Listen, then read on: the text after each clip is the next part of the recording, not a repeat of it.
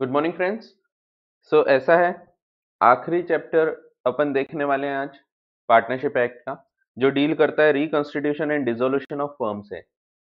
सो so, ये chapter complete होने होने के साथ ही अपना पार्टनरशिप एक्ट कंप्लीट हो जाता है। फिर अपने दो छोटे एक्ट इनफैक्ट एक बड़ा एक्ट है बट आपको बहुत कम चीज़ें पढ़ना है उसकी कंपनीज़ एक्ट और एक एलएलपी एक्ट जो कि बहुत छोटा सा एक्ट है। ये दो चीज़ों के ऊपर हम चर्चा करेंगे इन दी नेक्स्ट सेशंस और कल और परसों आपको छुट्टी रहेगी तो अपन कल और परसों कोई भी क्लास नहीं रखेंगे।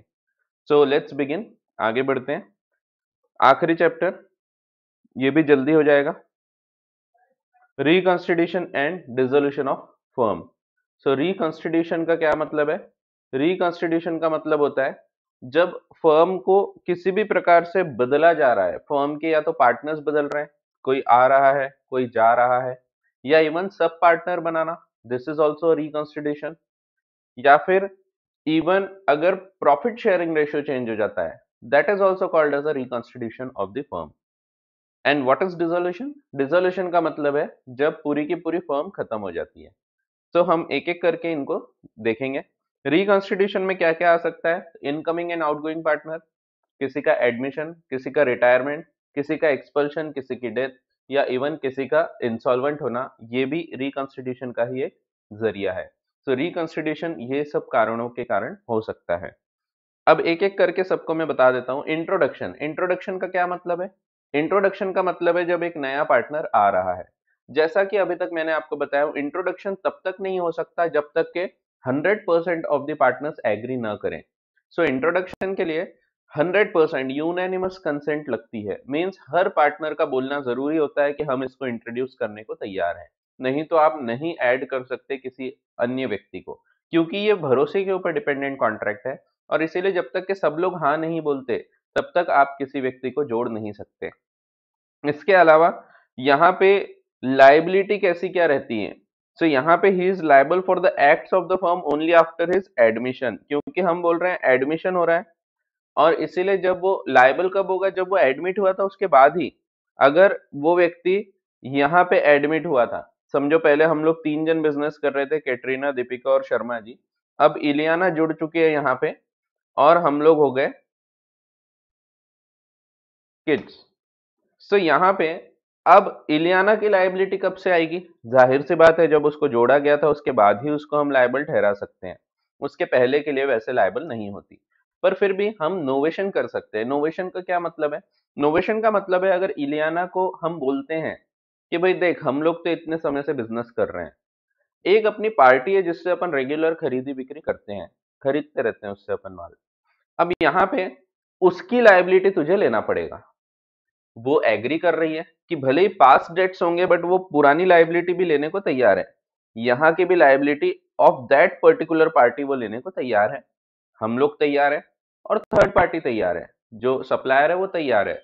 सो so, यहाँ पे नोवेशन किया जा सकता है and that partner the incoming partner can be held liable even for the past debts by a tripartite agreement तीनों के बीच एक एग्रीमेंट होना चाहिए। This is called as novation जब हम नया कॉन्ट्रैक्ट करके एक व्यक्ति को जिम्मेदार ठहरा रहे हैं for even the past debts so ये भी हो सकता है। अब इसके अलावा यहाँ क्या पब्लिक नोटिस की आवश्यकता होती है? The answer is no public notice का यहाँ पे कोई कंसेप्ट नहीं है। पब्लिक नोटिस के लिए एक सिंपल सा पॉइंट ध्यान रखो पब्लिक नोटिस सिर्फ़ तब लगता है जब आपको लाइबिलिटी से मुक्त होना है। अगर आपको लाइबिलिटी लेना है, तब कोई नोटिस की ज़रूरत नहीं होती। पब्लिक नोटिस का मतलब क्या है? मीन्स लोगों को जानकारी देना कि भाई, हम इस फर्म से अब अलग हो चुके हैं। अब अगर आप इस फर्म से कोई ट्रांजेक्शन करोगे तो I will not be responsible तो ये रिस्पॉन्सिबिलिटी से जब मुक्त होना है लाइबिलिटी से जब मुक्त होना है, तब ये बताना अनिवार्य होता है। लेकिन यहाँ तो लाइबिलिटी ली जा रही है और इसीलिए यहाँ पब्लिक नोटिस की कोई आवश्यकता नहीं होती। The next point is retirement of a partner retirement कैसे हो सकता है? सो so, जैसे मैंने बताया एडमिशन हो सकता है with the consent of all the other partners retirement भी या तो with the consent of all the other partners ये एक तरीका हो गया। बट ज़रूरी नहीं कभी कभी हर किसी की कंसेंट ना रहे तो भी आप कर सकेंगे रिटायरमेंट अगर डीड में लिखा है तो। जैसे कई बार हम डीड में लिख देते हैं कि भाई मैं रिटायर होना चाहूँगा तो मेरे को एक महीने पहले बताना पड़ेगा। मैंने बता दिया, एक महीने बाद रिटायर हो जाऊँगा। सो ये कई बार लिखा होता है कि एक नोटिस पीरियड देंगे हम, और उसके बाद रिटायरमेंट हो जाएगा। सो रिटायरमेंट तीन प्रकार से हो सकता है। पहली चीज़ with the consent of all the other partners ये सिंपल सा पॉइंट है। दूसरी चीज़, अगर डीड में कोई प्रोविज़न लिखा था तो उस हिसाब से किया जा सकता है रिटायरमेंट तीसरी चीज़, अगर पार्टनरशिप एट विल है सो बाय गिविंग नोटिस मैं रिटायर हो सकता हूँ। मैंने नोटिस दे दिया सब पार्टनर्स को कि I want to retire from this firm from the coming fourteen fourteen of the next month so ऐसे केस में जैसे ही मैंने नोटिस दे दिया, उसमें तारीख लिख दिया हूँ सो so उस तारीख से रिटायरमेंट हो जाएगा। अगेन अब यहाँ पे अगर मैंने कोई तारीख नहीं लिखा तो तो फिर जैसे ही सबको नोटिस मिल जाएगा, वैसे ही रिटायरमेंट हो जाएगा। ठीक है? सो रिटायरमेंट तीन प्रकार से। एडमिशन सिर्फ़ एक प्रकार से with the consent of all the other partners retirement can be with the consent of all the other partners और in accordance with the terms of the agreement that is the partnership deed और if the partnership is at will then by giving notice to all the other partners और अगर notice में कोई तारीख दिखी है तो उस दिन से रिटायरमेंट uh, हो जाता है। और अगर कोई तारीख नहीं लिखी है तो retirement takes place immediately on receipt of notice by every other partner अब रिटायरमेंट के बाद कब तक की लाइबिलिटी रहेगी? ज़ाहिर सी बात है रिटायरमेंट यहाँ पे हो गया। तो यहाँ पे हम लोग के थे और यहाँ पे समझो कैटरीना जो है ये रिटायर हो जाती है और हम लोग दो जन अब बिज़नेस कर रहे हैं। सो so, ऐसे केसेस में कैटरीना की ज़िम्मेदारी कब तक रहेगी? Up to the date of her retirement of course यहाँ पे भी नोवेशन हो सकता है। कैटरीना बोल रही है कि यार मैंने इतना साल इतने साल आपके लिए काम की मुझे अभी भी आप लाइबल ठहरा रहे हो। एक काम करो कम से कम ये जो अजय की लाइबिलिटी है इससे मुझे मुक्त कर दो। भले ये पास डेड है पर इसके लिए मुझे मुक्त कर दो। सो so, अगर हम लोग एग्री करते हैं हम दोनों एग्जिस्टिंग पार्टनर्स और रिटायरिंग पार्टनर और थर्ड पार्टी सो यहाँ के पास डेट से उसको रिलीज़ किया जा सकता है बाय ट्राई ट्राईपार्टेट एग्रीमेंट यहाँ पे भी एक ट्राई पार्टी एग्रीमेंट करके यहाँ हम मुक्त कर रहे हैं ठीक है? पिछले वाले केस में इंट्रोडक्शन में हम उसको एक्सेप्ट करवा रहे हैं कि तुम लाइबल रहोगे। यहाँ पे हम एक्सेप्ट कर रहे हैं तुम लाइबल नहीं रहोगे। सो so, ये भी किया जा सकता है। क्या यहाँ पे लाइबिलिटी रिटायरमेंट के बाद भी कंटिन्यू हो सकती है? ऑफ़ कोर्स मैंने जैसा कि बताया यहाँ पे up to the date of public notice अगर रिटायर हो गए तो ठीक है लेकिन पब्लिक नोटिस देना तो अनिवार्य है। अगर पब्लिक नोटिस नहीं दोगे तो जो लाइबिलिटी है दैट विल कंटिन्यू क्योंकि जनता को तो बताना पड़ेगा ना। जनता को कैसे पता लगेगा कि ये अलग हो चुकी है? सो so, कैटरीना या हम लोग कोई भी दे सकता है public notice it can be either the retiring partner और द कंटिन्यूइंग पार्टनर्स कोई भी व्यक्ति रिटायरमेंट का नोटिस दे देगा कि कैटरीना अब हमसे अलग हो चुकी है अब उससे कोई ट्रांजेक्शन करोगे तो हम जिम्मेदार नहीं रहेंगे। या कैटरीना देगी कि मैं अब इस फर्म से अलग हो चुकी हूँ अब अगर आप फर्म से ट्रांजेक्शन करोगे तो मैं जिम्मेदार नहीं रहूँगी। So this is called as the public notice expulsion the next point that is one of the most important points in your exam आपको ये आने के बहुत ज़्यादा चांसेस हैं, आपको ये ध्यान रखना है। एक्सपल्शन ऑफ़ पार्टनर एक्सपल्शन कैसे एक्सपेल किया जा सकता है? सर हमने तो पढ़ा था every partner has right not to be expelled yes वो सही था। लेकिन आप एक्सपेल कर सकते हैं अगर अगर, सिर्फ़ अगर कुछ कंडीशंस पूरी होती है। पहली कंडीशन आपने डीड में लिखा है। कि हम एक्सपेल कर सकते हैं अंडर द स्टेटेड सर्कमस्टेंसेस आपने उसमें लिखा है कौन कौन से कारण में कौन कौन से केसेस में हम एक्सपेल कर सकते हैं। जैसे कि हम कैटरीना को बोलते हैं कि भाई तू हमारी कार मत ले जाया कर। हमारी कार सिर्फ़ फर्म के लिए यूज़ होना चाहिए लेकिन वो हर बार हमारी कार लेके जाती है और घूमती फिरती है लॉन्ग ड्राइव पे जाती है सल्लू के साथ। सो so, ऐसे केसेस में एक बार हो गया दो बार हो गया रोज रोज की बात हो गई तो हम अब उसको निकाल सकते हैं। अगर हमने ऐसा डीड में लिखा था तो। कि in case of persistent breach of authority या फिर अगर कोई पर्सनल प्रॉपर्टी करके यूज़ करेगा फर्म की प्रॉपर्टी को तो ऐसे केसेस में आप निकाल सकेंगे। अगर आपने ऐसा कुछ पॉइंट लिखा है तो आप उस केस में निकाल सकते हैं। That also in good faith good faith का मतलब है आप उसको धोखा देने के लिए उससे बदला लेने के लिए नहीं निकाल रहे उसको। आप एक्चुअल में उसने गलत काम किया है इसीलिए उसको निकाल रहे हैं। सो so, पहली चीज़ ध्यान रखना है ये तीनों पॉइंट्स आपको।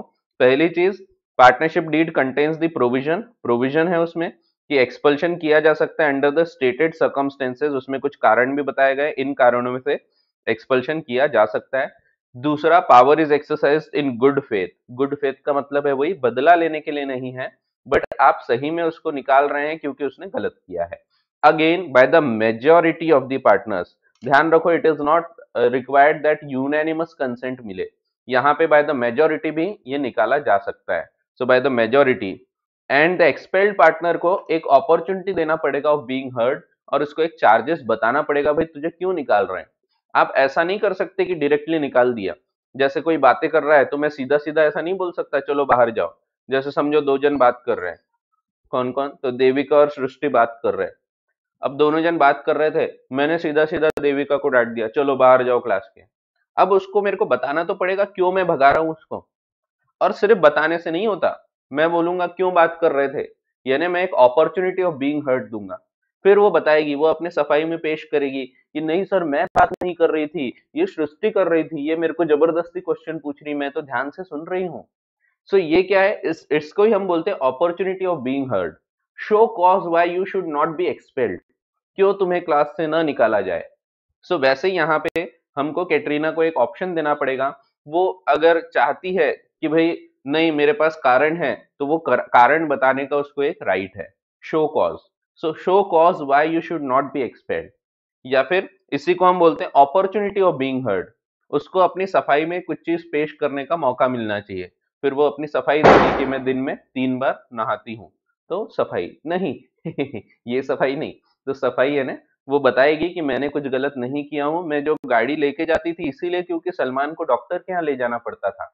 अब हमको लगता है हाँ यार ये कारण तो सही है डॉक्टर के यहाँ जाना है और वो अच्छा काम कर रही है तो क्यों अपन उसको निकालें? सो so, ऐसे केसेस में फिर हम उसको नहीं निकालेंगे ठीक है? सो एक्सपल्शन किया जा सकता है बट तीनों कंडीशन पूरी होना चाहिए। There must be a provision in the deed deed में लिखा होना चाहिए that under the stated circumstances expel किया जा सकता है। गुड फेथ एंड मेजोरिटी के द्वारा होना चाहिए and the notice of charges should be given and also the opportunity to answer the charges बाकी लाइबिलिटीज बिल्कुल सेम है, जैसे हमने रिटायरमेंट में पढ़ा रिटायरमेंट के केस में जैसे लाइबिलिटी होती है from up to the date of expulsion यहाँ भी वैसे ही होगा up to the date of expulsion liability रहेगी। इसके अलावा जब तक के पब्लिक नोटिस नहीं देते, तब तक के लाइबिलिटी कंटिन्यू होगी। फर्दर नोवेशन हो सकता है नोवेशन के द्वारा हम उसको बोल सकते हैं। वो बोल रही है कि क्या शर्मा जी मुझे निकाल तो रहे हो तो कम से कम पुराने जो जिम्मेदारियाँ उससे मुक्त तो कर दो। तो फिर हम बोल सकते हैं, ठीक है, हम तेरे को जो पास डेट्स है, इस मुक्त कर देंगे। लेकिन इसके लिए भी एग्रीमेंट होना चाहिए, जिसमें थर्ड पार्टी का भी होना अनिवार्य है। Tripartite agreement existing partners that is continuing partners the expelled partner and the third parties इनके साथ एग्रीमेंट होना चाहिए। अगर आप ऐसे दस लोगों की लाइबिलिटी से मुक्त करना चाहते हैं तो दस लोगों के साथ एग्रीमेंट होगा आपका ऐसा अलग अलग ठीक है? जैसे हम अगर अजय की लाइबिलिटी से इसको मुक्त करना चाहते हैं तो अजय के साथ हम लोग एग्रीमेंट करेंगे, तीनों जन। यानी दो existing partners outgoing partner and the third party ठीक है? तो ऐसा है।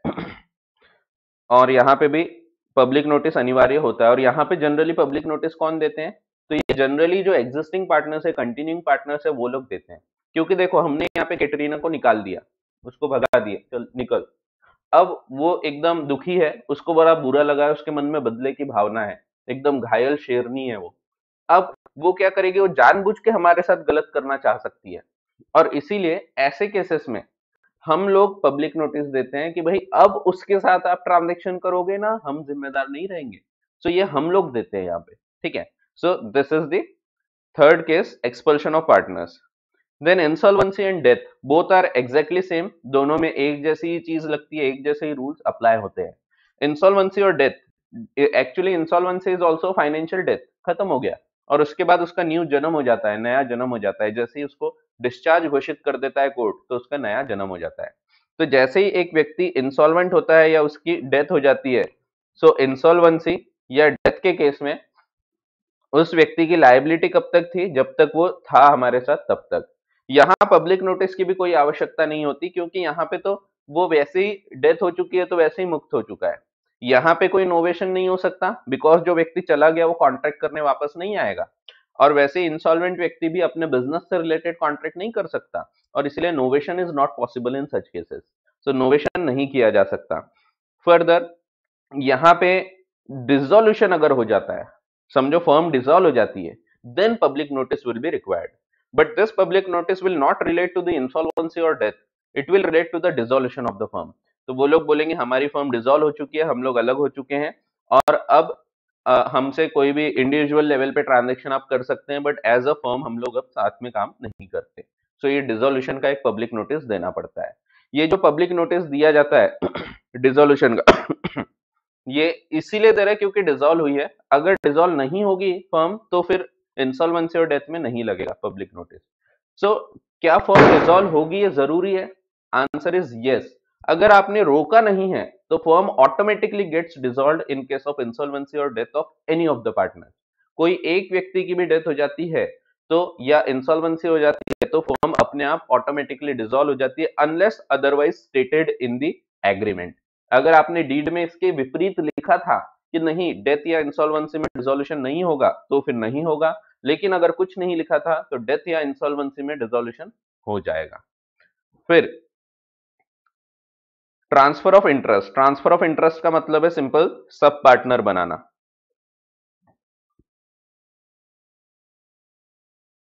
सब पार्टनर सो सब पार्टनर बनाना इसमें भी मैंने आपको बता चुका हूँ ऑलरेडी कि ये भी किया जा सकता है only with consent of all the other partners जब तक कि हर एक व्यक्ति हाँ नहीं बोलता तब तक कि आप किसी व्यक्ति को अपना इंटरेस्ट ट्रांसफ़र नहीं कर सकते, अपना शेयर ट्रांसफ़र नहीं कर सकते इंक्लूडिंग सब पार्टनर बनाना। अब अगर सब पार्टनर बनाया गया है एग्री किया था, मैंने बोला था कि मैं अपना जो अधिकार है, उसमें से मैं कुछ हिस्सा इलियाना को देना चाहता हूँ तो Iliana becomes the sub partner ये अगर हमने किया है तो सवाल यह है कि क्या ये सब पार्टनर को पूरे अधिकार मिल जाएँगे against the partnership firm the answer is no she will get no rights against the partnership firm during the continuance of partnership जब तक के पार्टनरशिप चल रही है, उसको सिर्फ़ पैसा लेने का अधिकार है। जितना मैंने एग्री किया हूँ, उतना चुपचाप उसको रखना पड़ेगा। ठीक है, जैसे मैंने बोला था, मेरे को मिल रहा है फिफ्टी परसेंट शेयर ये दोनों को ट्वेंटी फाइव ट्वेंटी फाइव और मुझे मिल रहा है फिफ्टी परसेंट मैंने बोला था, मैं फिफ्टी परसेंट का इसको समझो फिफ्टी परसेंट शेयर दूँगा। फिफ्टी परसेंट का फिफ्टी परसेंट यानी ultimately twenty five percent share में इसको दूँगा। सो so, ऐसे केसेस में उसको सिर्फ़ चुपचाप 25 परसेंट जो भी हमने शेयर बताया जो भी हमने प्रॉफिट बताया उसका 25 परसेंट उसको मांगने का अधिकार रहेगा। इसके अलावा उसको कोई अधिकार नहीं प्राप्त होते ना ही वो इंटरफेयर कर सकती in the conduct of the business ना ही वो एज अ पार्टनर कुछ अधिकार मांग सकती है ना ही वो अकाउंट्स देख सकती है ना बुक्स देख सकती है। कोई भी उसको अधिकार नहीं मिलता, ना इंटरफेयर कर सकती, ना बुक्स देख सकती, ना अकाउंट्स देख सकती। ठीक है? She is not entitled but अगर डिजोल्यूशन होगा तो डिजोल्यूशन में उसको कुछ एडिशनल राइट्स प्राप्त हो जाते हैं। सो एडिशनल राइट्स में क्या होगा? उसको प्रॉफिट तो मिलेगा ही। जो मैंने प्रॉफिट बोला था, वो प्रॉफिट तो शेयर होगा ही। साथ में उसको असेट्स भी मिलेंगे। Assets at the time of dissolution and winding up जब फर्म बंद होती है तो असेट्स बांटे जाते हैं। अब असेट्स में भी उसको शेयरिंग मिल जाएगी। सो so, ये एक खास बात होती है और इसके अलावा उसको अब अकाउंट्स देखने का अधिकार प्राप्त हो जाता है। अकाउंट्स देखने का बुक्स नहीं अकाउंट्स देखने का क्योंकि उसको पता तो होना चाहिए ना कितने असेट बिक रहे हैं। सो so, असेट्स जो बिक गए हैं तो असेट्स में कितना प्रॉफिट आया है क्या आया है ये सब चीज़ें देखने का उसको अधिकार होना चाहिए। अगेन अकाउंट्स देखने का मतलब है जो खाते होते हैं वो देख सकती है वो लेजर वगैरह देख सकती है। बुक्स नहीं देख सकती एक एक एंट्री नहीं देख सकती जर्नल नहीं देख सकती वो रजिस्टर्स uh, नहीं देख सकती वो इनवॉइसेस नहीं देख सकती वाउचर्स नहीं देख सकती वो सिर्फ़ अकाउंट्स देख सकती है खाते देख सकती है ठीक है? Then, rights and liabilities of an outgoing partner rights and liabilities of an outgoing partner में हर एक पार्टनर को कुछ अधिकार होते हैं और कुछ जिम्मेदारियाँ होती है इवन अगर वो जा रहा है तो भी। पहला अधिकार है उसका right to carry on the competing business he has a right to carry on the competing business unless हमने उसको रोका हो। अगर कोई व्यक्ति जा रहा है समझो कैटरीना हमारी फर्म छोड़ के जा रही है उसने बोली बहुत अच्छा लगा आपके फर्म में काम करके लेकिन अब मैं सोच रही हूँ कि अब मैं अलग हो जाती हूँ। सो so, ऐसे केसेस में she has a right retire हो सकती है वो एज पर डीड या जैसा भी हमने एग्री किया था। रिटायर होने के बाद वो चाहती है कि खुद का बिज़नेस कैरी ऑन करे सेम बिज़नेस तो क्या वो कर सकती है? Of course she can do it वो फिर से अगर पान की एक दुकान लगाना चाहे तो वो लगा सकती है। अल्टीमेटली लेकिन वो क्या नहीं कर सकेगी? वो हमारा नाम यूज़ नहीं कर पाएगी। हमारा जो नाम है केडीएस पान पैलेस वो पान पैलेस का नाम अब वो यूज़ नहीं कर सकती क्योंकि वो अलग हो चुकी है। वो लोगों को ये नहीं बताएगी, अरे, मैं तो अभी भी जुड़ी हुई हूँ इनके साथ। ये नहीं बता सकती वो। ठीक है तो पुराना नाम यूज़ नहीं कर सकती वो, फर्म से जुड़ी हुई हूँ ये नहीं बता सकती। And she can not solicit the existing customers existing customer है हमारा सलमान खान। सलमान खान को ये नहीं बोल सकते, अरे, सल्लू, इधर आओ ना। वहाँ कहाँ जाते हो? तो ये नहीं किया जा सकता। ठीक है? सो ये उसको अधिकार नहीं है। तो she has a right to carry on the competing business but she may not use the firm name she may not represent herself to be carrying out the business on behalf of the firm and she may not solicit the existing customers और the person already dealing with the firms so ये नहीं कर सकती। How ever अगर हम इसको agree करें तो वो ये सब चीज़ें कर सकती है। Again right to share subsequent profit in certain cases जैसा कि आप जानते हैं, जब एक व्यक्ति रिटायर होता है तो उसको उसका शेयर देना पड़ता है। जैसे कैटरीना है, दीपिका है, शर्मा जी हैं। समझो कैटरीना का यहाँ पे दस लाख रुपया लगा हुआ था प्रॉफिट वगैरह पकड़ के। दीपिका का समझो दस लाख था और मेरा समझो दस लाख का था। अब ये जो पैसा है, क्या हमारे पास यहाँ कैश में दस लाख रुपए पड़े होंगे क्या?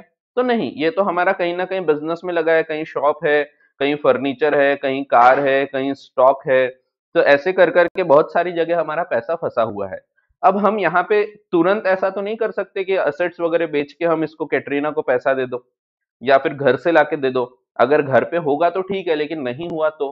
तो हम कई बार ऐसा होता है कि हम तुरंत उसको पैसा नहीं दे पा रहे हैं।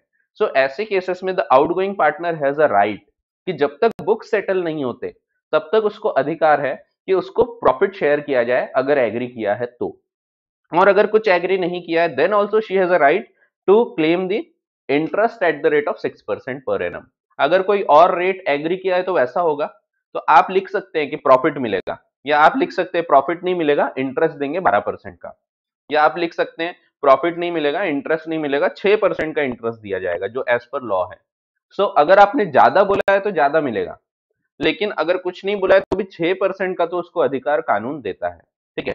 जब तक उसके बुक सेटल नहीं होते। तो उसको तब तक हम या तो प्रॉफिट शेयर करते हैं या तो इंटरेस्ट उसको दिया जाता है on the capital invested in the firm फिर liabilities of an outgoing partner क्या क्या लाइबिलिटीज रहेगी उसकी? सो लाइबिलिटीज ऑलरेडी हमने अभी जस्ट पढ़ा रिटायरमेंट के केस में उसकी लाइबिलिटी रहेगी up to the date of retirement and up to the date of public notice so retirement हो गया, उसके बावजूद वो लाइबल हो सकती है अगर पब्लिक नोटिस न दिया जाए तो. हाँ ऑफकोर्स एक पॉइंट बताना था स्लीपिंग पार्टनर अगर रिटायर होता है तो ऐसे केसेस में public notice is not required because sleeping partner is not known as a partner to the other person जो बाहर वाले लोग हैं, उनको पता नहीं होता कि स्लीपिंग पार्टनर पार्टनर है। And hence the notice is public notice is not required in case of a sleeping partner dissolution of a firm. Now, what is the dissolution of a firm? So, dissolution of firm and dissolution of partnership both are separate things. जब हम बोलते हैं dissolution of partnership so partnership dissolve हो रही है. That means इनके बीच का जो रिश्ता है ये बदल रहा है.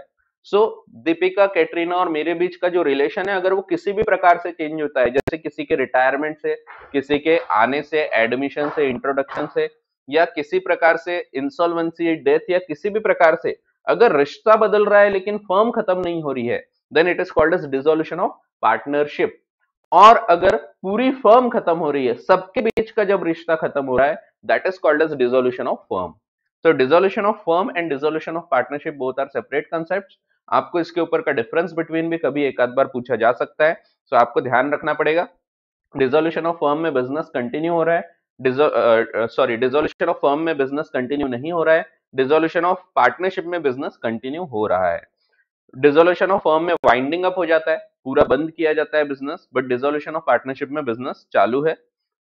डिजोल्यूशन ऑफ़ फर्म ये कोर्ट भी ऑर्डर कर सकती है बट पार्टनरशिप डिजोल्व करना जनरली कोर्ट ऑर्डर नहीं करती।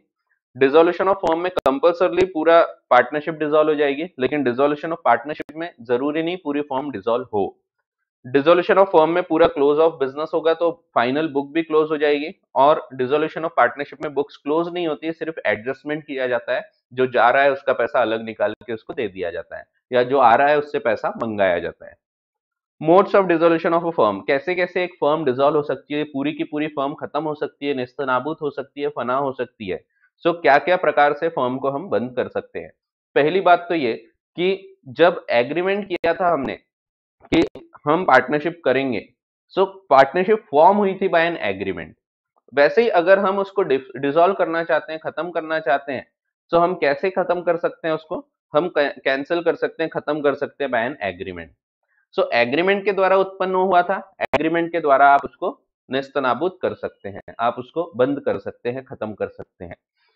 कंपलसरी डिजोल्यूशन ध्यान रखो कंपलसरी डिजोल्यूशन में आप किसी भी प्रकार से बचा नहीं सकते। यहाँ पे वो डिजोल्यूशन होना ही है। जैसे कि अगर सबके सब पार्टनर्स इंसॉल्वेंट हो गए तो आप बचा नहीं सकोगे फर्म को। क्योंकि सभी इंसॉल्वेंट हो गए तो फर्म कहाँ बची? या सबकी डेथ हो गई फर्म कहाँ बची? खत्म हो गई। या एक को छोड़ के सबकी डेथ हो गई। या एक को छोड़ के सब इंसॉल्वेंट हो गए। मैं बचा हूँ बाकी के सब पार्टनर्स इंसॉल्वेंट हो गए तो मैं तो अकेला बचा फिर फर्म कहाँ रह गई सो यहाँ पे कंपलसरी डिजोल्यूशन हो गया। आपने अगर पार्टनरशिप डीड में लिखा भी होगा कि डिजोल्व नहीं होगी डेथ में डिजोल्व नहीं होगी तो भी यहाँ डिजोल्व होगी ही क्योंकि यहाँ एक अकेला ही बचा है तो अकेला है तो पार्टनरशिप नहीं बची। सो so, यहाँ पे फर्म डिजोल्व होगी ही कंपलसरी वैसे ही अगर हमारे फर्म का बिज़नेस जो है वो इलीगल हो जाता है जैसे कि फॉर एग्ज़ाम्पल समझो हम लोग बेचते हैं फटाके। अब फटाके सेल करते हैं, लेकिन सरकार ने फटाके पे बैन लगा दिया। बोला कि कोई भी फटाके की दुकान नहीं चलेगी, कोई भी फटाके नहीं फोड़ सकता। या हम समझो पान के दुकान चलाते हैं और पान के ठेलों पे खैनी, गुटखा, जर्दा, ये सब, तंबाकू, खर्रा, ये सब चीज़ों पे बैन लगा दिया गया। अब ये बैन लगा दिया तो हमको बंद करना ही है फिर। यहाँ पे the firm will automatically get dissolve because the business of the firm has become illegal unlawful so यहाँ पे भी फर्म का डिजोल्व होना अनिवार्य है। इसके बाद भी डिजोल्यूशन है लेकिन ये डिजोल्यूशन है on happening of certain contingencies in cases में ध्यान रखो अगर आप रोक सके तो रोक लो। यानी आप यहाँ रोक सकते हैं। अगर आपने इसके विपरीत एग्री किया है तो आप रोक सकते हैं इस पर्टिकुलर फॉर्म को बंद होने से।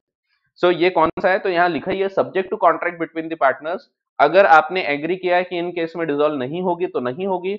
अगर कुछ एग्री नहीं किया है तो यहाँ भी डिजोल्व हो जाएगी। कब कब? पहला, जब आपने एक फिक्स टर्म के लिए बनाया था और वो टर्म एक्सपायर हो गया। आपने बोला था तीन साल की पार्टनरशिप तीन साल बाद एक्सपायर हो गया, बंद हो जाएगी पार्टनरशिप लेकिन अगर आप चाहते हैं कि नहीं, हमको फर्म कंटिन्यू रखना है then you can do so ठीक है? बट अगर कुछ नहीं बोला तो that will automatically dissolve the firm उसी प्रकार से अगर आपने कोई एक पर्टिकुलर एडवेंचर के लिए लिया था, एक पुल बनाने को लिया था पुल बन गया पार्टनरशिप फॉर्म खत्म हो गई। Death of a partner death में भी खत्म हो जाती है, वैसे ही इंसॉल्वेंसी ऑफ़ द पार्टनर में भी अपने आप फॉर्म खत्म हो जाती है। बट हाँ अगर आप चाहो तो इन चारों केसेस में आप इसके विपरीत एग्री कर सकते हैं कि हम अगर चाहे तो इसको आगे भी कंटिन्यू करेंगे। फिर डिजोल्यूशन बाय नोटिस अगर पार्टनरशिप एट विल है तो ऐसे केसेस में it can be dissolve even by giving the notice of the intention of intention to dissolve the firm so so, intention बताने के लिए आपको लेटर लिख के भेजना पड़ता है कि मैं फर्म को डिजोल्व करना चाहता हूँ। उसमें आप अगर एक डेट मेंशन करते हैं तो उस डेट से ये डिजोल्व हो जाएगी। If you do not mention any date तो ऐसे केसेस में it will get dissolve from the date when the notice is received by all the other partners फिर डिजोल्यूशन बाय कोर्ट कभी कभी कोर्ट अधिकार रखता है। कोर्ट ऑर्डर पास करता है कि फर्म को डिजोल्व कर दिया जाए। कब कब किया जा सकता है? जब पार्टनर्स को मिल के डिजोल्व करना पॉसिबल नहीं है, क्योंकि उनके बीच कुछ दिक्कतें आ रही है और वो डिजोल्व नहीं कर पा रहे। तो ऐसे केसेस में हम कोर्ट अप्रोच कर सकते हैं कोर्ट को अप्रोच करके कोर्ट को हम बोल सकते हैं कि, साहब, बंद कर दो हमारी फर्म को और कोर्ट वहाँ पे ऑर्डर पास करेगा तो firm will be dissolve so यहाँ पे कौन कौन से केसेस ऐसे होते हैं? जब एक पार्टनर इंसेन हो गया इंसेनिटी अब इंसेन हो गया यानी वो कंसेंट नहीं दे सकता he is not competent to contract हमारी पार्टनरशिप चल रही थी एट विल थी, लेकिन वो बेचारा इंसेन हो गया। इंसेन हो गया तो उसको तो हमको आ, उसको कुछ समझता ही नहीं है। उसको हम नोटिस भी भेजेंगे तो कुछ नहीं समझेगा। तो ऐसे केसेस में हम कोर्ट जाएँगे। कौन कोर्ट जा सकता है? आइदर दी एग्जिस्टिंग पार्टनर्स या फिर जो इंसेन हो गया जो पागल हो गया उसका जो नेक्स्ट फ्रेंड रहेगा या रिप्रेजेंटेटिव रहेंगे वो लोग जाएँगे। ठीक है? सो जैसे कैटरीना इंसेन हो गई तो उसका जो नेक्स्ट फ्रेंड है जैसे सल्लू सल्लू जाएगा और बोलेगा कोर्ट में कि साहब ये बंद कर दो फर्म को। या फिर हम लोग जा सकते हैं। सल्लू कई बार डरता है कोर्ट जाने से तो हम लोग जा सकते हैं। ठीक है तो हम लोग लग, हम लोगों को लगता है यार अब ये नहीं है ये काम तो कर नहीं पाएगी तो अपने लिए बिज़नेस रन करना मुश्किल हो गया है। तो हम लोग जाके भी फर्म को डिसॉल्व करवा सकते हैं बाय कोर्ट्स ऑर्डर उसी प्रकार से परमानेंट इनकेपेसिटी हो गई। समझो ऐसी कोई बीमारी हो गई इनक्योरेबल इलनेस हो गई जैसे कि पैरालिसिस हो गया। तो पैरालिसिस वगैरह के केस में क्या होगा? यहाँ पे अब हम लोग डिजोल्व नहीं कर पा रहे हैं या फिर कोमा में चला गया। जैसे समझो मेरा एक्सीडेंट हो गया मैं को, कोमा में पड़ा हूँ। अब डिजोल्व करना मुश्किल है क्योंकि मैं तो कोमा में हूँ तो मेरी कंसेंट कैसे लेंगे? और मेरे को अगर नोटिस भी दे दिया तो मुझे थोड़ी जानकारी आएगी मुझे तो समझेगा ही नहीं। तो ऐसे केसेस में भी कोर्ट जाके इसको खत्म किया जा सकता है। उसी प्रकार से गिल्टी कंडक्ट जब कोई व्यक्ति गिल्टी काम करते हुए पकड़ा जाता है जो हमारे बिज़नेस को अफेक्ट कर सकता है। फॉर एग्ज़ाम्पल हम लोग अच्छे से बिज़नेस करते थे मस्त हम लोग अपने पार्टनरशिप में पान वगैरह बेचते थे चूना लगाते थे लोगों को।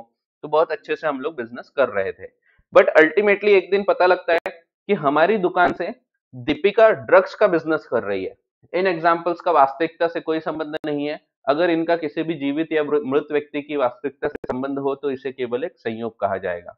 सो so, एग्ज़ाम्पल है कि हमको पता लगा कि कैटरीना यहाँ से ड्रग्स का बिज़नेस कर रही है।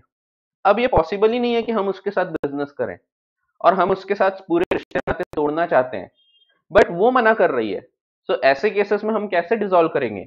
हम कोर्ट चले जाएँगे और कोर्ट को बोलेंगे फॉर्म डिजोल्व कर दो। सो so, यहाँ पे फॉर्म डिजोल्व करने का अधिकार कोर्ट रखता है। So guilty conduct persistent breach of agreement persistent breach of agreement persistent का मतलब होता है बार बार ब्रीच ऑफ़ एग्रीमेंट जो बोला था उसके विपरीत काम कर रहे हैं। जो एग्री किया था उसके अपोजिट काम कर रहे हैं। जैसे हमने एग्री किया था कि फर्म की जो प्रॉपर्टी है that will be used exclusively for the purpose of the business of the firm यानी कार है तो वो सिर्फ़ बिज़नेस के लिए यूज़ होना चाहिए। लेकिन कैटरीना बार बार कार लेके चले जाती है। रोज देखते हैं हम कार की ज़रूरत है, हमको शादियों एवं पार्टियों के ऑर्डर पूरे करने जाना था, लेकिन हमारे पास कार ही नहीं है। सो हमको जमता ही नहीं, हम लोग साइकिल पे जा रहे हैं, मैं और दीपिका। तो ये बराबर नहीं लग रहा, हम लोग को काम नहीं हो पा रहे वो हमारी बार बार कार लेके चले जाती है परसिस्टेंट ब्रीच ऑफ़ अथॉरिटी हो रहा है। हमने उसको दो चार बार समझाया, लेकिन हम फॉर्म बंद भी नहीं कर पा रहे। क्योंकि हमने फर्म को विल पे नहीं रखा है। हमने उसमें लिखा था कि सब लोग मिलकर एग्री करेंगे और फिर बंद हो सकती है। अब वो बंद भी नहीं करने दे रही। सो हम यहाँ कोर्ट चले जाएँगे और कोर्ट को बोलेंगे, साहब, बंद करके दो हमारी फर्म हमको इसके साथ बिज़नेस करना अब पॉसिबल नहीं है क्योंकि she is doing persistent breach of authority जो नहीं बोला है, वही बार बार करती रहती है। तो ऐसे केसेस में फॉर्म को बंद किया जा सकता है by going to the court transfer of whole interest अगर मैं पूरा का पूरा अपना अधिकार ट्रांसफ़र कर देता हूँ टू अनदर पार्टनर तो ऐसे केसेस में अनदर पर्सन किसी भी व्यक्ति को मैं अगर ट्रांसफ़र कर देता हूँ तो ऐसे केसेस में भी कोर्ट जाके बंद किया जा सकता है। ऑटोमेटिकली यहाँ बंद नहीं होता। सो so, अगर मैं इंटरेस्ट ट्रांसफ़र करता हूँ यहाँ होल इंटरेस्ट बताया बट इवन अगर मैं पार्शियल इंटरेस्ट ट्रांसफ़र कर सकता करता हूँ और बाकी लोग मना कर रहे हैं so they can move to the court और वो बंद करवा सकते हैं इस फर्म को। उसी प्रकार अगर लॉस में चल रहा है बिज़नेस कई बार होता है बिज़नेस लॉस में है और इसीलिए हम लोग इसको कैरी ऑन नहीं करना चाह रहे। पर किसी एक व्यक्ति का उससे इमोशनल अटैचमेंट होता है। वो बोलता है कि नहीं नहीं हम ये बिज़नेस बंद नहीं करेंगे। अब क्योंकि वो इमोशनली अटैच है तो उसके कारण लॉस हो रहा है और हम बिज़नेस बंद भी नहीं कर पा रहे। सो so, ऐसे केसेस में हम कोर्ट जा सकते हैं और कोर्ट को बोल सकते हैं साहब बंद करा के दो हमारा बिज़नेस तो यहाँ पे फिर वो फर्म को ऑर्डर पास करेगा कि फर्म डिजोल्व हो जाए उस दिन से फिर वो फर्म डिजोल्व हो जाएगी। और आखिरी पॉइंट है जस्ट एन इक्विटेबल क्लॉज जब जस्ट एन इक्विटेबल लगता है जब न्याय के प्रति अगर कोर्ट सोचे तो उसको लगता है कि इस फर्म को डिजोल्व कर देना ही बेहतर है। जैसे कि मोनोपली क्रिएट हो रही है। ऐसे केसेस में court will pass the order to dissolve the firm even if no application is made by any other partner या किसी भी व्यक्ति ने अप्लाई नहीं किया है तो भी court can dissolve it under just an equitable clause consequences of dissolution क्या डिजोल्यूशन हो जाएगा तो अपने आप फर्म पूरी की पूरी खत्म हो जाएगी। वैसे लीगली तो फर्म खत्म हो जाती, समझो यहाँ पे डिजोल्यूशन हुआ। तो डिजोल्यूशन के बाद फर्म तो खत्म हो गई। पर क्या अपने आप पूरे असेट्स बिक गए? समझो कैटरीना की डेथ हो गई। क्या अपने आप हमारे असेट्स बिक जाते हैं? क्या अपने आप पूरी लाइबिलिटीज पे ऑफ़ हो जाएगी? सो so, नहीं फर्म तो यहाँ डिसॉल्व हो गई लेकिन अभी भी इसको हमको वाइंड अप करना पड़ेगा। सो वाइंड अप करने का क्या मतलब है? वाइंड अप करने का मतलब है हमको इस बिज़नेस को समेटना पड़ेगा वाइंड अप वाइंड अप यानी बोरिया बिस्तर बांधना और बंद करना। तो सब चीज़ खत्म करना पड़ेगा पूरे असेट्स बेचेंगे लाइबिलिटीज पे ऑफ़ की जाएगी। सो अल्टीमेटली डिजोल्यूशन के बाद भी कुछ काम करना बचा है। और एक नोटिस भी देना पड़ता है public notice so public notice दिया जाएगा एंड वाइंडिंग अप किया जाएगा। सो so, अगर हमने नोटिस दे भी दिया डिजोल्यूशन हो गया नोटिस भी दे दिया तो भी वैसे तो लाइबिलिटीज खत्म हो जाती है। हम लोग अलग हो चुके हैं पर कुछ चीज़ों के लिए राइट्स एंड लाइबिलिटीज अभी भी कैरी ऑन होती है। कौन कौन सी चीज़ों के लिए? सो so, अगर आप ध्यान से देखें तो नोटिस देने के बावजूद अभी बिज़नेस बंद तो होने का है। सो ये बिज़नेस बंद करना पड़ेगा। इसके लिए सब लोग जिम्मेदार है। सब लोग मिलके ये बंद कर सकते हैं। जैसे मैं हूँ, दीपिका है, हम लोग सब लोग मिलके ये काम करेंगे कि असेट्स बेचना है लाइबिलिटी पे ऑफ़ करना है। अगर ये ना बोला जाए तो कोई भी फिर बोलेगा, मैं क्यों करूँ? इसीलिए लाइबिलिटी कंटिन्यू होती है कि पूरे असेट्स बेचना है और लाइबिलिटी पे ऑफ़ करना है, ये आपकी ज़िम्मेदारी है। इसके अलावा दूसरी ज़िम्मेदारी होती है जो ट्रांजेक्शन हमने बिगिन किए थे। ट्रांजेक्शन बिगन बट अनफिनिश्ड अभी तक पूरे नहीं हुए थे। हमने किसी की शादी एवं पार्टी के ऑर्डर लिए थे। हमने सल्लू भाई की शादी और पार्टी का ऑर्डर लिए थे कि उसके शादी में हम लोग पान का ठेला लगाएँगे। अब यहाँ पे इसके बाद ऑर्डर आया। कुछ दिन बाद पता लगा कैटरीना घचक गई। उसकी डेथ हो गई। अब यहाँ पे सल्लू की शादी का ऑर्डर तो लिया है। ये तो पूरा करना पड़ेगा। सो ट्रांजेक्शन बिगन हो चुका है बट फिनिश नहीं हुआ है। सो so, जब ये फिनिश होने का है तो हमारी ज़िम्मेदारी है सबकी मिलके कि हम इसको फिनिश करें। ठीक है? सो ऐसी चीज़ों के लिए भी लाइबिलिटी रहती है। अल्टीमेटली दो चीज़ों के लिए लाइबिलिटी होती है। Even after dissolution even after notice पहली चीज़ to wind up the affairs of the firm दूसरी चीज़ to conclude the transaction which began but were unfinished at the time of dissolution so उनको पूरा करना खत्म करना। सो so, ये दो लाइबिलिटीज और राइट्स भी। जैसे बेच के पैसे आएँगे उस पर भी सबका अधिकार है। सो यहाँ पे rights as well as liabilities both continue ठीक है? शादियों पार्टियों के ऑर्डर पूरे किए उसका प्रॉफिट आएगा ये भी शेयर होगा। ठीक है? तो भैया rights and liabilities of partners on dissolution so पहला है right to have the business wound up पहला अधिकार है कि बिज़नेस बंद किया जाए ये अधिकार है। सो so, बिज़नेस बंद करना और जो भी प्रॉफिट होगा उसको डिस्ट्रीब्यूट करना among themselves continuing authority for the purpose of winding up जैसा कि मैंने बताया, दो चीज़ों के लिए अथॉरिटी अभी भी कंटिन्यू होती है wind up and to complete the transaction which began but were unfinished at the time of dissolution personal profit earn नहीं करना है आफ्टर डिजोल्यूशन भी। डिजोल्यूशन हो गया, मैंने अपनी कार किराए से दे दिया। फर्म की कार थी, किराए से दे दिया और किराया खा लिया। अब ये चीज़ पता लगती है बाकी पार्टनर्स को तो दे कैन रिकवर द किराया अमाउंट ठीक है तो वो मेरे को बोल सकते हैं, शर्मा जी, आपने गलत किया, पैसा पूरी फर्म का है भले ही फर्म डिसॉल्व हो गई बट फर्म की एसेट यूज़ करके कमाया है तो ये पैसा हमारा सबका है आपको सब में बांटना पड़ेगा। फिर right to have the premier premium return on dissolution premium का मतलब है गुडविल गुडविल रिटर्न करने का ज़िम्मेदारी होती है। ये क्या है? पहले ध्यान से देखो। सो so, क्या होता है? कभी कभी हम लोग किसी को जोड़ते हैं तो उसको बोलते हैं देख बहन तेरे को हम जोड़ तो रहे हैं बट तेरे को यहाँ आने के लिए पैसा लाना पड़ेगा। क्योंकि हम लोग तो इतने टाइम से बिज़नेस कर रहे थे। अब तू जुड़ रही है हमारे साथ। सो so, ऐसे फुकट में थोड़ी तेरे को जोड़ेंगे। तेरे को गुडविल लाना पड़ेगा। देख हमारे बिज़नेस की बहुत अच्छी गुडविल है। तो तू यहाँ ज्वाइन हो रही है। कम से कम दस साल तो अपन चलाएँगे फर्म और दस साल के हिसाब से समझो अपनी पाँच लाख की गुडविल लग रही है। तो पाँच लाख अपन ने मंगा लिए उससे। उसको बोला पाँच लाख रुपए लेके आना। ये कितने साल के लिए? फॉर टेन ईयर्स दस साल के लिए उससे हमने गुडविल मंगाया। जैसा मैंने आपको पहले भी बता चुका हूँ, गुडविल की एक कीमत होती है। गुडविल का एक वक्त होता है तो एक वक्त तक के उसकी बेनिफिट आपको मिलते हैं। तो यहाँ पे हमने एग्री किया कि पाँच लाख जो है, ये दस साल तक के उसको बेनिफिट ऐसे ही मिलते जाएगा। मीन्स हर साल उसको पचास हज़ार हर साल उसको हाँ पचास हज़ार का बेनिफिट मिलेगा। अब समझो, तीन साल चली और तीन साल बाद हमारी फर्म अपने आप बंद हो गई। बंद करना पड़ा हमको। सो तीन साल बाद बंद करना पड़ा तो उसको कितने का बेनिफिट मिला? पचास हज़ार इंटू थ्री यानी उसको सिर्फ़ डेढ़ लाख का ही बेनिफिट मिला। उस बिचारी ने तो हमारे यहाँ पाँच लाख रुपए लगाए थे, लेकिन फर्म डिजोल्व हो गई। सो उसको साढ़े तीन लाख रुपए जो बचे हुए हैं, ये वापस कर देंगे हम, क्योंकि प्री मेच्योर डिजोल्यूशन हो गया। पाँच साल के लिए उसने पाँच लाख लाई थी, तीन साल बाद ही डिजोल्व हो गई। सो ऐसे केस में तीन साल का तो उसको बेनिफिट मिल गया बट बाकी के जो पैसे हैं, वो पैसे उसको हम रिटर्न कर देंगे। This is called as premature dissolution और उस केस में आपको पूरा पैसा उसका वापस करना पड़ेगा जो भी प्रोपोर्शनेट अमाउंट रहेगा वो। ये कब किया जाता है? सो so, जब एग्री किया होगा तभी ये ध्यान रखो ये प्रीमियम रिटर्न नहीं किया जाएगा अगर डेथ के कारण बंद हो रही है फर्म तो या उसके खुद की गड़बड़ के कारण बंद हो रही है या फिर एग्रीमेंट में लिखा ही नहीं था कि भाई प्रीमियम रिटर्न किया जाएगा। So there must be a clause in the agreement की प्रीमियम रिटर्न किया जाएगा, तभी उसको प्रीमियम मांगने का अधिकार है। Rights where partnership contract is rescinded for fraud और मिसरिप्रेजेंटेशन अगर फ्रॉड या मिसरिप्रेजेंटेशन हुआ है तो क्या होगा? Right right. यहाँ पे भी किसकी बात हो रही? जिसको हमने ज्वाइन करवा लिया, झूठ बोल के। हमने समझो फ्रॉड करके इलियाना को ज्वाइन करा लिया हमारे साथ। अब उसको बोला कि जुड़ जा हमारे साथ, अपना बहुत अच्छा गल्ला है, पाँच हज़ार रुपए हर दिन का अपन बेच लेते हैं। पाँच हज़ार का सेल हो जाता है रोज का। अब वो ज्वाइन हो जाती है, उसने पैसा वैसा भी लगा दी मस्त। और ज्वाइन होने के बाद उसको पता लगा पाँच सौ हज़ार रुपए मैक्सिमम निकलता है दुकान से। अब उसके साथ तो धोखा हो गया। उसको अधिकार है, पहली चीज़। जो भी खर्चा किया है उसने for the business of the firm उसके लिए she will be rank as a creditor और उसको लीन मिलेगा। जो भी फर्म के एसेट्स है, उसके ऊपर लीन मिलेगा। And again she is ranked as a creditor वो क्रेडिटर मान ली जाएगी फॉर द अमाउंट और जो कैपिटल लाया था ये कैपिटल भी उसको वापस मिला पहले। ऑफ़ कोर्स बाहर वालों को पहले पैसा मिलेगा फिर इसको पैसा मिलेगा बाद में बचेगा तो बाकी के पार्टनर्स को मिलेगा। सो so, जब फ्रॉड करके किसी को जोड़ा जाता है तो उसको भी ध्यान में रखा जाएगा पर ultimate rule is third party का नुकसान नहीं होने दिया जाएगा।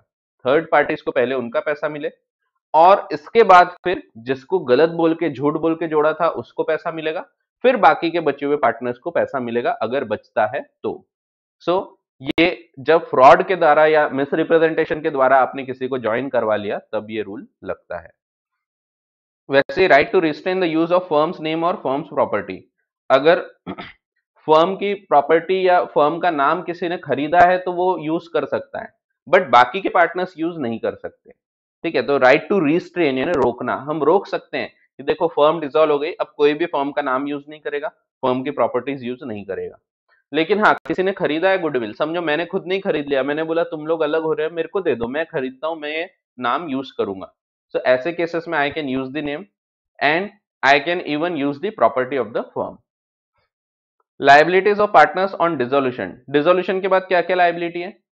Continuing liability until public notice जब तक के पब्लिक नोटिस नहीं देते तब तक हर एक पार्टनर जिम्मेदार है। इसके अलावा पब्लिक नोटिस देने के बाद भी जिम्मेदार हो जाता है फॉर टू थिंग्स एक transactions that were begun but unfinished at the time of dissolution and to wind up the affairs of the firm. So, ये दो चीज़ों के लिए उसकी ज़िम्मेदारी आगे भी कंटिन्यू होती है। फिर mode of settlement of accounts after dissolution accounts कैसे सेटल किए जाते हैं? जब डिसोल्यूशन हो जाता है तो। अब सिंपल सा पॉइंट है। जब डिसोल्यूशन होता है तो ऑफ़ कोर्स असेट्स वगैरह बेचेंगे। लाइबिलिटीज पे ऑफ़ करेंगे। समझो हमारा बैलेंस शीट है बैलेंस शीट में कैपिटल लगाया हुआ है, कैटरीना का, दीपिका का, शर्मा जी का, तीनों का कैपिटल लगाया हुआ है। समझो दो लाख, एक लाख और एक लाख का हमने कैपिटल लगाया। इसके अलावा हमको और पैसे की ज़रूरत थी तो एडवांसेस लगाए हुए हैं। तीनों ने एडवांसेस लगाए, समझो, दो लाख, चार लाख, पाँच लाख। इसके अलावा बाकी बाहर वाले जो क्रेडिटर्स रहेंगे, वो रहेंगे। और हमारा प्रॉफिट शेयरिंग रेशियो है, समझो इक्वल इक्वल रेशियो हमने रखा है सबका। One third one third one third अब क्या होता है? यहाँ के पूरे असेट्स वगैरह बेचे जाएँगे। असेट्स बेचने के बाद जो पैसा आएगा, ये पैसा हम पहले यूज़ करेंगे to pay off the creditors creditors को पे ऑफ़ करेंगे, सबसे पहली चीज़ क्रेडिटर्स की लाइबिलिटी खत्म करेंगे हम। इसके बाद जो पैसा बचता है, समझो हमारे पास अब पैसा बचा है, सिर्फ़ एडवांसेस पे करने का कैपिटल लायक बचा ही नहीं, पैसा बहुत कम बचा है। समझो हमारे पास एक लाख दस हज़ार रुपए बचे। सो ये एक लाख दस हज़ार को कैसे शेयर किया जाएगा? ये शेयर किया जाएगा जो चीज़ बांट रहे हैं उस रेशियो में। समझो, इतना ही पैसा बचा है after paying off the creditors so ये पैसा यूज़ किया जाएगा पहले ये रेशियो में two is to four is to five यानी यहाँ पे जो पैसा यूज़ किया जाएगा सो यहाँ पे बीस हज़ार इसको मिलेगा, फिर चालीस हज़ार इसको मिलेगा और पचास हज़ार इसको मिलेगा। ठीक है? और बाकी डूब जाएगा, बाकी लॉस हो जाएगा। समझो पैसा ज़्यादा बचा, हमको और ज़्यादा पैसा बचा। हमने पूरे ये एडवांसेस पे ऑफ़ कर दिए। उसके बाद और हमारे पास बचा है, समझो। समझो दो लाख रुपए और बचे। आफ्टर पेइंग दी एडवांसेस हमारे पास और दो लाख रुपए बचे हैं। सो ये दो लाख रुपए अब हमको पे करना है। तो ये किस रेशियो में होंगे? अब बटेगा कैपिटल तो कैपिटल के रेशियो में two is to one is to one so इसको मिल जाएगा एक लाख रुपया। और हम दोनों को मिल जाएगा पचास पचास हज़ार का पैसा। ठीक है? अब समझो इससे भी ज़्यादा बचा पैसा। समझो ये भी पे ऑफ़ हो गया। दो लाख रुपए ये भी पे ऑफ़ हो गए, एक लाख एक लाख पूरा पे ऑफ़ हो गया कैपिटल उसके बावजूद और पैसा बचा है। वो कैसे फिर शेयर किया जाएगा? क्योंकि अब बट रहा है प्रॉफिट तो that will be share in profit sharing ratio equal यानी सिंपल रूल ऐसा ध्यान रखो, जो चीज़ बांट रहे हैं, उस रेशियो में बटेगी। अगर आप एडवांस वापस कर रहे हैं तो एडवांस के रेशियो में जाना चाहिए कैपिटल वापस कर रहे हैं तो कैपिटल के रेशियो में जाना चाहिए, और अगर आप प्रॉफिट्स वापस कर रहे हैं तो प्रॉफिट के रेशियो में जाना चाहिए। और अगर लॉसेस हैं, घर से पैसा लाना पड़ रहा है तो that will be contributed in their profit sharing ratio only ठीक है? तो वो उस रेशियो में लाया जाएगा। सो ऐसा है। तो यही दिया है यहाँ पे।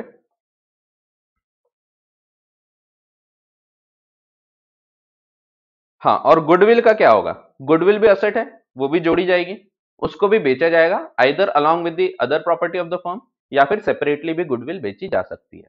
फिर लॉसेस वगैरह है तो वो पहले कैपिटल वैपिटल में से पे किए जाएँगे, आखिर में बचेगा जो तो उसको आप घर से लेके आएँगे।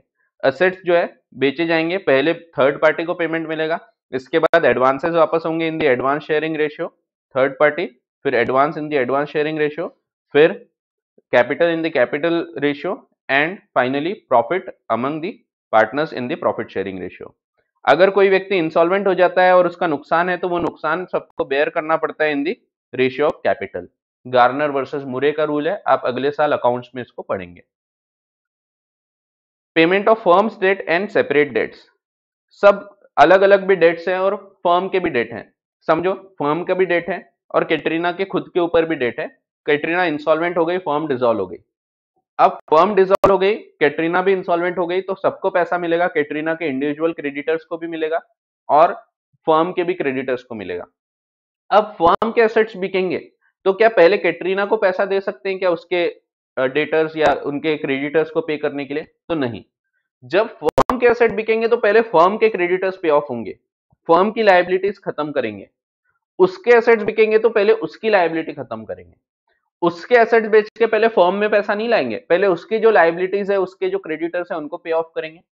देन अगर बचता है तो फर्म में लाएगा। इसके अलावा अगर फर्म के एसेट्स बिक रहे तो फर्म की लाइबिलिटी पे ऑफ़ करेंगे और अगर बचता है तो फिर वो पर्सनल लाइबिलिटी यूज़ की जा सकती है। So ultimate rule is firm के एसेट बेच के पहले फर्म की लाइबिलिटी पे करेंगे। अगर बचेगा तो पर्सनल लाइबिलिटी वैसे ही पर्सनल एसेट्स बेच के पहले पर्सनल लाइबिलिटी पे करेंगे। अगर बचते हैं एसेट्स तो फिर फर्म की लाइबिलिटी तो इस प्रकार से रूल लगेगा। सो so, जहाँ के एसेट वहाँ पे पहले यूज़ करेंगे उसके बाद बचेंगे तो दूसरी जगह यूज़ किए जाएँगे। This is the basic rule public notice already मैंने बता दिया। पब्लिक नोटिस कब कब देना पड़ता है आपको?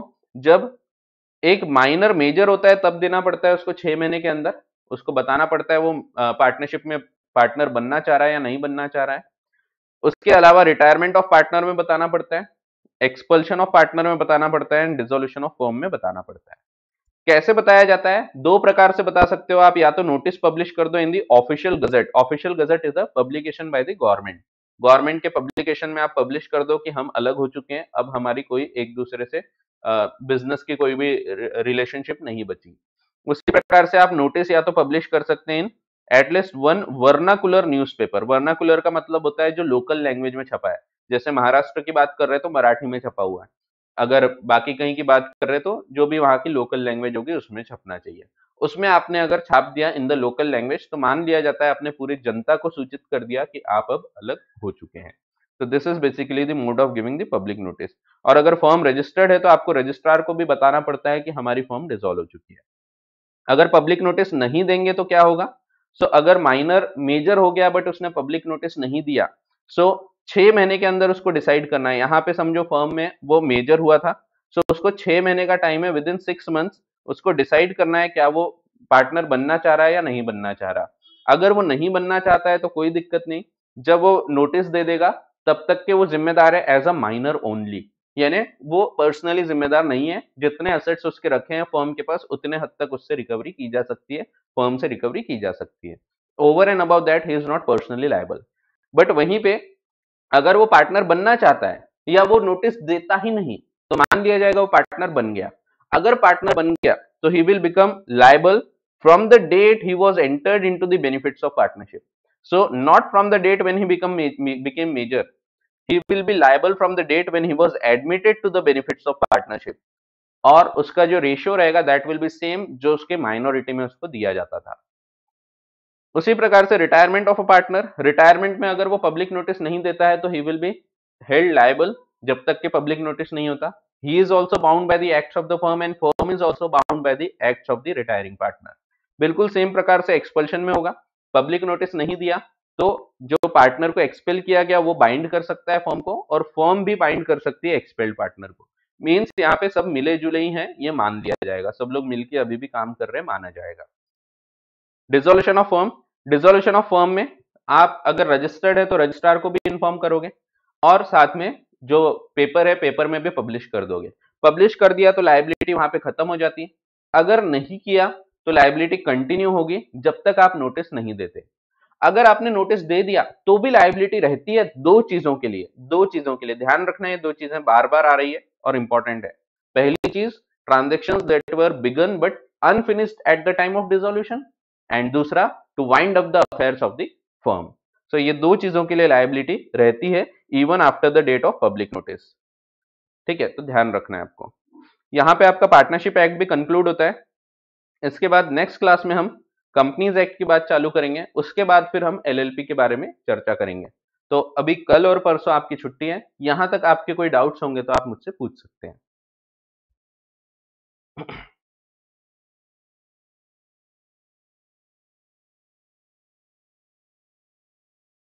कोई डाउट्स नहीं होंगे तो आज की क्लास को अपन यहाँ कंक्लूड करेंगे। ठीक है? चलो थैंक यू